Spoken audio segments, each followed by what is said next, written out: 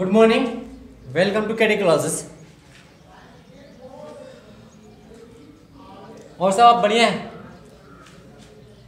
देखिए, हम class nine का ये वीडियो बनेगा और इसमें हम बायोलॉजी पढ़ेंगे। यानी क्लास नाइन में हमने दो चैप्टर पढ़ा चुका है। मैंने आप, खासकर क्लास नाइन में केमिस्ट्री की बात करें केमिस्ट्री में पहला चैप्टर दूसरा चैप्टर दो चैप्टर आपके खत्म हो चुके हैं। एक पहले था आपका पदार्थ और उसके हमारे आसपास के पदार्थ थे। दूसरा क्या था? क्या पदार्थ शुद्ध हैं? ठीक है। क्या हमारे आसपास के जो पदार्थ है, वो क्या शुद्ध है? प्योर है? ये दो चैप्टर हमने केमिस्ट्री में पढ़ा था। तो आज के वीडियो में केमिस्ट्री ना देख के बायोलॉजी पढ़ेंगे। मैंने फ़र्स्ट वीडियो में बताया था कि आपको बायोलॉजी में और सॉरी साइंस में केमिस्ट्री बायोलॉजी में पढ़ाऊँगा। फिजिक्स भी पढ़ाएँगे आपको दूसरे साल। यहाँ पर हमने केमिस्ट्री का दो चैप्टर पढ़ चुके हैं, यानी रसायन विज्ञान के हमने दो चैप्टर को पढ़ लिया। यानी कह सकते हैं आधा हमने खत्म कर लिया। देखा जाए जो क्लास आपके नाइन में इस बार सिलेबस में कटे थे, फिर भी उसको भी पढ़ाया जा चुका है। क्लास नाइन के सिलेबस यानी इस बार कोरोना काल में जो सिलेबस नहीं पढ़ने थे, हम लोगों ने उसको भी पढ़ा है, जाना है, समझा है। और आगे भी अब देखेंगे, समझेंगे और जल्द से जल्द कामना करेंगे कि स्कूल खुले। सभी बच्चे विद्यालय आए। ताकि फेस टू फेस पढ़ाई हो। ये भी आपका फेस टू फेस है। देखा जाए, कहीं ना कहीं ये वीडियो से आप बहुत अच्छा पढ़ते हैं। क्यों पढ़ते अच्छा बताइए। क्योंकि यहाँ पर जो चीज़ बताया जा रहा है, अगर आपको नहीं समझ में आ रहा है, उसको दो बार, तीन बार रिपीट करके देख सकते हैं आप। ये आपका एक प्लस पॉइंट है वीडियो देखने में। यानी कोई चीज़ हमने एक बार चीज़ें आपको देखा, नहीं समझ में आया, लेकिन दो बार, तीन बार देखने में क्या होता है, आपको वो चीज़ें क्लियर हो जाती है। क्लास में क्या था? एक ही बार बताना था, क्योंकि टाइमिंग होती है। वो एक बार बता दिया, ये चीज़ हो गई। लेकिन यहाँ क्या आपको बताया, एक बार जा रहा लेकिन आप उसको ना समझ में आकर उसको कई बार रिपीट कर सकते हैं।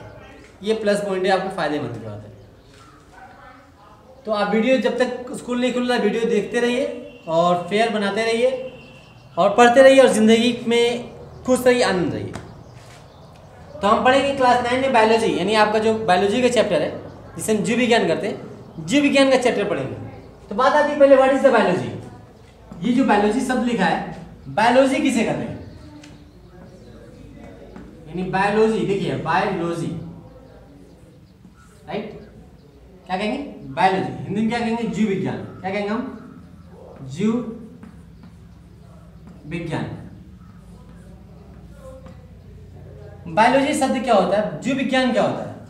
कई बार बताया गया क्लास एट से लेकर हमेशा पढ़ते रहे शायद आप जानते होंगे। देखिए बायोलॉजी शब्द देखा जाए तो बायोलॉजी को हम तोड़ेंगे, दो भागों में बटा है यानी ये शब्द ऑलरेडी ये बायोलॉजी वर्ड आपके दो शब्दों से मिलकर बना कितने शब्दों से? दो शब्दों से, याद रखिएगा। यानी आपको देखा जाए, एक होता है बायोस क्या होता है? बायोस दूसरा होता है लोगस क्या होगा? लोगस ये दो शब्द से मिलकर आपके बायोलॉजी का निर्माण हुआ। Bios and logos bios means होता है जीव, क्या होता है? जीव। यानी लिविंग लोगस मीन्स होता है विवेचना। विवेचना।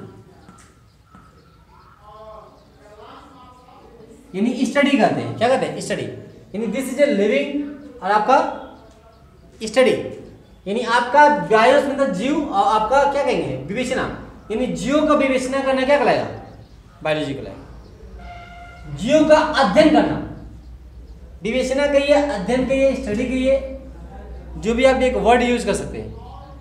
तो आपका जियो का विवेचना करना, विवेचना मतलब होता है स्टडी करना, अध्ययन करना। तो जियो का अध्ययन करना ही क्या कहलाता है? आपका बायोलॉजी कहलाता है। तो बात आती है जीव किसे कहते हैं? हमने बताया था जीव क्या होते हैं। यानी जीव किसे कहते हैं? ये आप छोटी चीज़ें हैं जो आपने क्लास फाइव से ही पढ़े होंगे।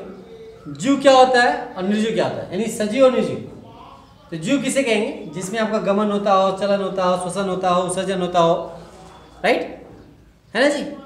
यानी जीव किसे कहेंगे? जो आपका, ऐसा आपको कोई भी आपका पार्ट्स जिसमें क्या होता है, आपका श्वसन होता हो, यानी जैविक क्रिया होती है, जैविक क्रिया क्या क्या?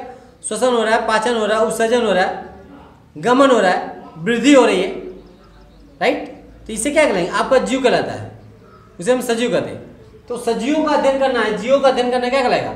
आपका बायोलॉजिस्ट कहलाएगा। बात समझा रही? बायोलॉजी अब देखिए बायोलॉजी शब्द, ये जो शब्द है बायोलॉजी बायोलॉजी शब्द का प्रयोग सबसे पहले किसने किया था? लैमार्क ने। किसने? बायोलॉजी शब्द का प्रयोग लैमार्क।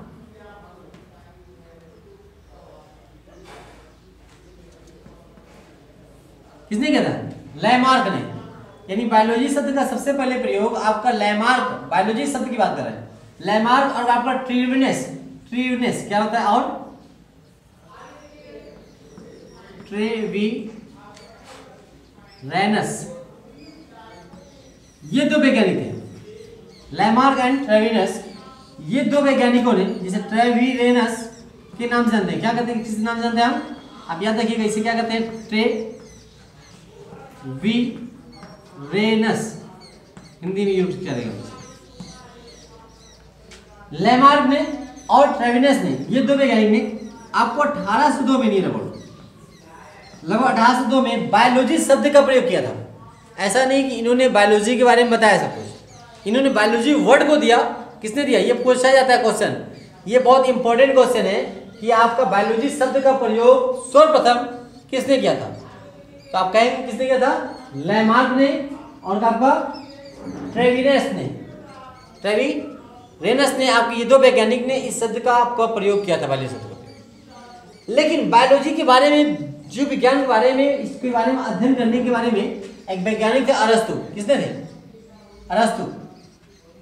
तो अरस्तु ने सबसे पहले क्या किया था? इसकी बहुत अध्ययन, डीपली अध्ययन किया था। यानी इसके बारे में पूरा पूरा विवेचना किया था। पता किया था जीव जीव विज्ञान के बारे में। इसीलिए अरस्तु को हम क्या कहते हैं? फादर ऑफ़ बायोलॉजी कहते हैं। या फाउंडर ऑफ़ बायोलॉजी कहलाता है। क्या कहलाता है? फाउंडर ऑफ़ बायोलॉजी नोट कर लीजिएगा ये सब।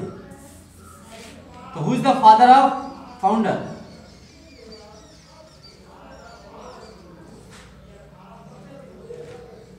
founder ना F O U N D R founder कहते हैं या फादर कहते हैं। फाउंडर कहिए और फादर कहिए ऑफ़ किसका? बायोलॉजी किसका? बायोलॉजी यानी जीव विज्ञान का फाउंडर कौन था? संस्थापक कौन था? कौन था? अरस्तु। याद रखिए, क्या कहते हैं हम? अरस्तु। यानी फाउंडर या आपका फाउंडर कहते हैं या फादर कहते हैं। Father of biology founder of कौन था? आपका अरस्तु के नाम से किसके नाम से? अरस्तु। याद रखिए, किसके नाम से? लिख लीजिएगा, अरस्तु।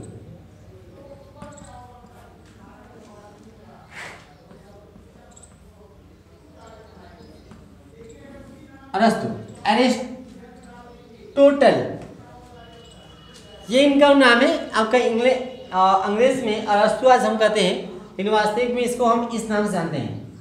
एरिस्टोटल एरिस्टोटल क्या नाम से इस नाम से जानते हैं? ये अरस्तु का ही नाम है। यानी अरस्तु ने आपके जीव विज्ञान की जनक कहे जाते हैं। फादर ऑफ़ आपके बायोलॉजी कहे जाते हैं। ये इंपॉर्टेंट क्वेश्चन है, आप नोट कर लीजिएगा। अरस्तु, याद रखिए। ओके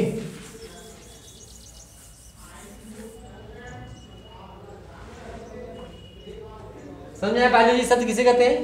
लिख लीजिएगा बायोलॉजी किसे कहेंगे? यानी जीव जंतुओं का अध्ययन करना ही बायोलॉजी कहलाता है पूछा जाता है, जीव विज्ञान किसे कहेंगे? तो जीव जंतुओं का अध्ययन करना हम बायोलॉजी कहते हैं। अपने फेयर में मेंशन करेंगे। आपका परिभाषा पहले लिखेंगे, आपका बायोलॉजी लिखेंगे बायोलॉजी का परिभाषा लिखेंगे। जीव जंतुओं का अध्ययन करना क्या कहलाता है?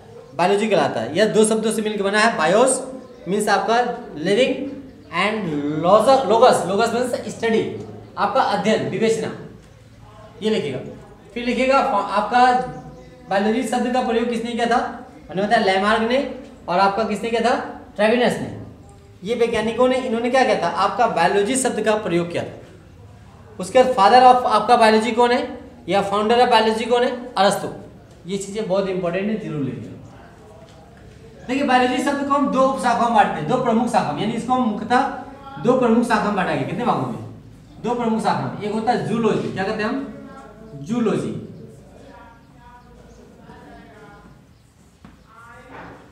राइट जूलॉजी दूसरा शाखा क्या आ गया आपका? Botany B O T A N Y दो शाखाओं में बांटा गया यानी बायोलॉजी को हम डिवाइड करते हैं टू पार्ट्स में जूलॉजी और बॉटनी यानी जंतु विज्ञान और वनस्पति विज्ञान।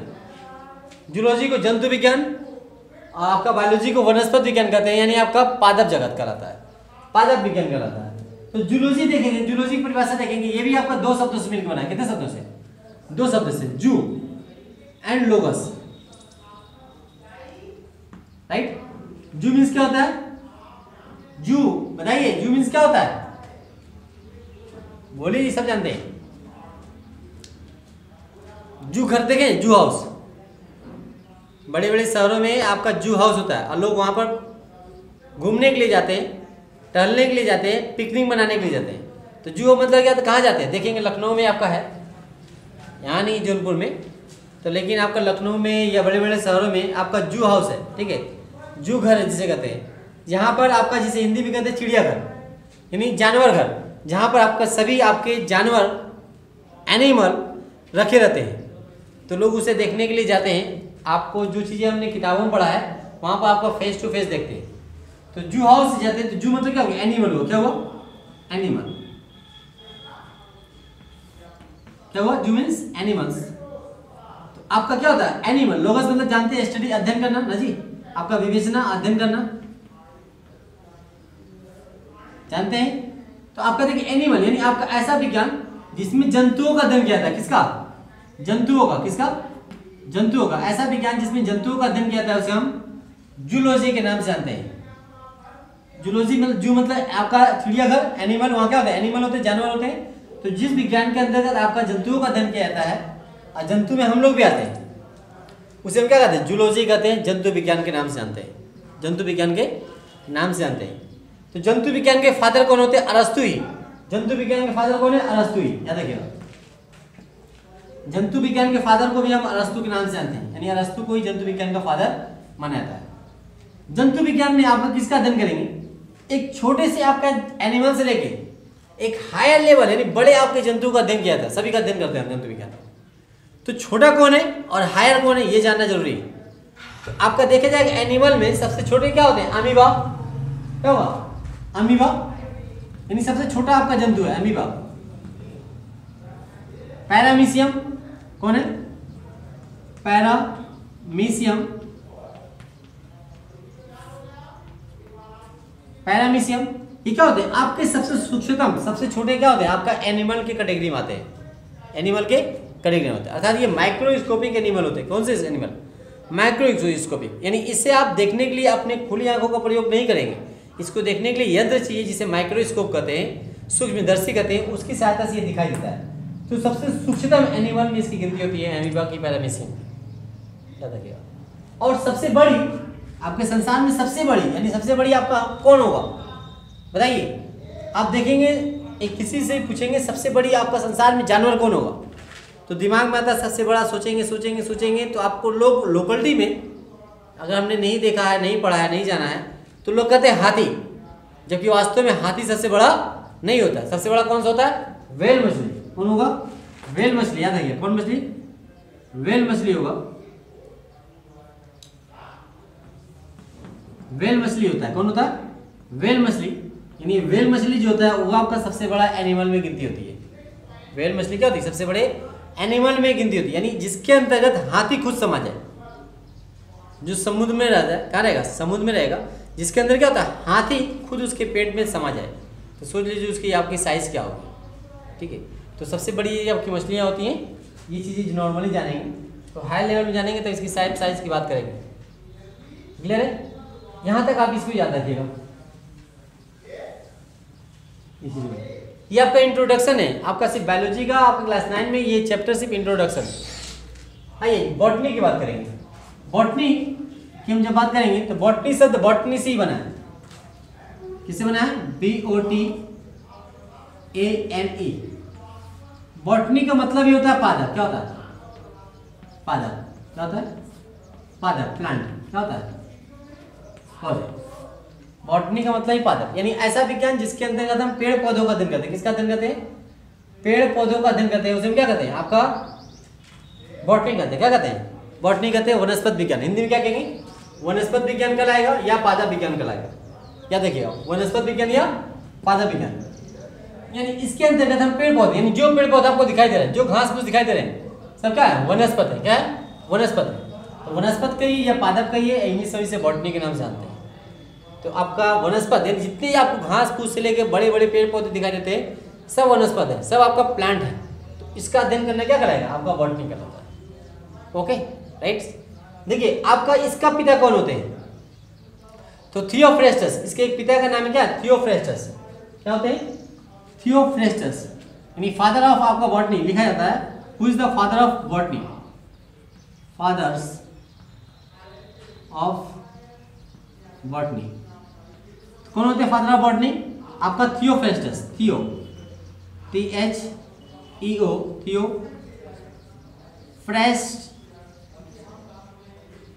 Theophrastus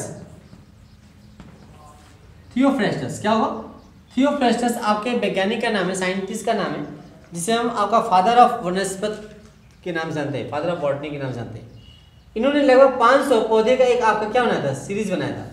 यानी 500 पौधों का इन्होंने लगभग एक अध्ययन किया था एक बनाया था। अध्ययन करने के बाद तक इसीलिए इसे फादर ऑफ़ बॉटनी के नाम से जानते हैं। थियोफ्रेस्टस कौन थे? थियोफ्रेस्टस आपको वास्तव में अरस्तु के ही शिष्य थे। किसके थे? अरस्तु जिसने एनिमल की आपको जीव विज्ञान की खोज किया आ, बारे में बताया। उसी के शिष्य थे। कौन थे? उसी के शिष्य थियोफ्रेस्टस थे। आपको जिन्होंने खास करके महारत हासिल की पौधे के बारे में इसीलिए इसे फादर ऑफ़ बॉटनी के नाम जानते हैं थियोफ्रेस्टस को। बस समझ आया ओके अब देखा जाए सबसे सूक्ष्मतम पादप कौन होता है सबसे बड़ा पादप कौन होता है? तो सबसे सूक्ष्मतम पादप की बात करें, क्या होगा? आपका बैक्टीरिया। यानी सबसे सरल बैक्टीरिया। बैक्टीरिया क्या होता है? आपका बैक्टीरिया पादप जगत में सबसे सूक्ष्मतम आपका पादप है। हाँ बैक्टीरिया पादप जगत में सबसे सूक्ष्मतम पादप होता है, ठीक है? तो बैक्टीरिया और सिकोया जाइगेंडिया सबसे बड़ा प्लांट है। Sequoia. Sequoia gigantea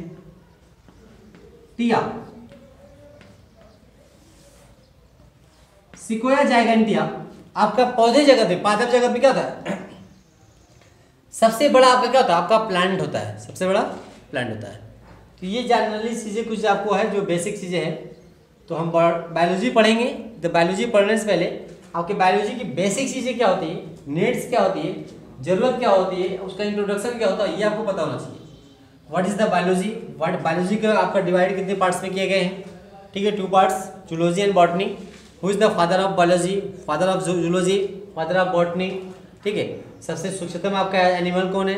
सबसे आपका सबसे बड़ा एनिमल कौन है? लार्जेस्ट एनिमल कौन है? सबसे छोटा आपका प्लांट कौन है? एंड सबसे बड़ा प्लांट में कौन आता है? इसके बारे में जानकारी आपको रखना ज़रूरी होता है। तो ये इसका आपका यही है। नेक्स्ट आपका जो चैप्टर पढ़ेंगे हम, जो आपको वीडियो पढ़ेंगे, उसमें आपको पढ़ेंगे सेल के बारे में। किसके बारे में? जीवन की मौलिक इकाई। जीवन की मौलिक इकाई या जियो की मौलिक इकाई। तो मौलिक इकाई क्या है? मौलिक इकाई सेल ही क्या है? सेल कोश क्या? याद रखिएगा चैप्टर अलग अलग करके नाम से, मौलिक इकाई नाम से है लेकिन आपको वास्तव में सेल ही है। तो जियो की मौलिक इकाई सेल के बारे में पढ़ेंगे। जिस तरह हमने पदार्थों की मौलिक इकाई क्या है? एटम कोई पदार्थ की अगर मौलिक इकाई की बात की जाए फंडामेंटल यूनिट की बात किया जाए, या उसकी आपका माइक्रो यूनिट की बात किया जाए तो क्या होता है? आपका किसी पदार्थ का तो क्या होता है आपका? दैट्स टाइप एटम परमाणु होता है। उसी प्रकार से किसी एनिमल में या प्लांट में, यानी बायोलॉजी में जो फंडामेंटल यूनिट होता है, जो माइक्रो यूनिट होता है, जिससे शरीर का निर्माण होता है, वो क्या होता है? सेल तो आपको क्लास नाइन में सेल पढ़ना है, और एक लिमिट मीडियम में पढ़ना है। लिमिट आपके माध्यम में पढ़ना है, क्योंकि क्लास ग्यारह में जाने के बाद उसको सेल को, उसी सेल को बहुत अच्छे से और पढ़ेंगे। लेकिन मैं आपको क्लास नाइन में ही, पूरा बाकायदा क्लास नाइन में जो सेल पढ़ाएँगे, बहुत आपको एलेवन के दृष्टिकोण से आपको ये बेस्ट रहेगा। क्लियर है? तो ये चीज़ें आप नोट कीजिएगा पेयर में। तो नेक्स्ट वीडियो में हम बताते हैं व्हाट इज़ द सेल क्या होता है उसके बारे में स्टडी करें तब के लिए thank you see you again आपका दिन शुभ थैंक यू